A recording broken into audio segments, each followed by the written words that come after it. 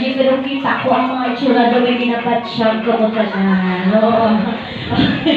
Sabi, sabi niyo gano'n na, happy birthday, gano'n. Dapat natin masaya tayo ngayon. Okay, sige.